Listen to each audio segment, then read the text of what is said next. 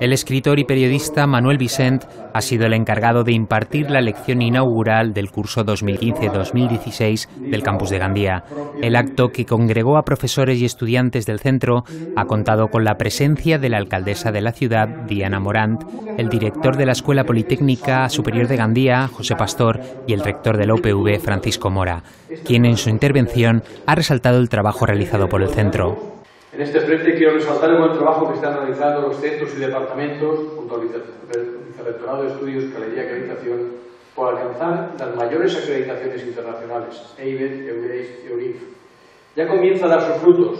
Por su parte, Manuel Vicent se ha referido a los científicos, profesores y estudiantes que cumplen con su deber como héroes modernos en un siglo marcado por la soledad comunicada.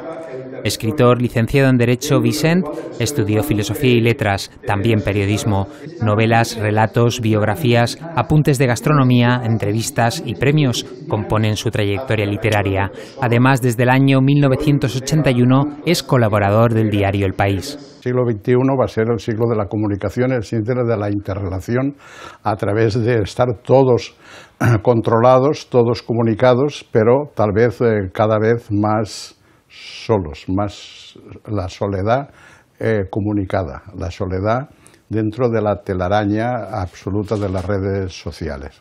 Durante la conferencia inaugural del curso académico 2015-2016 del campus de Gandía se han entregado también los premios finales de grado correspondientes al curso 2014-2015.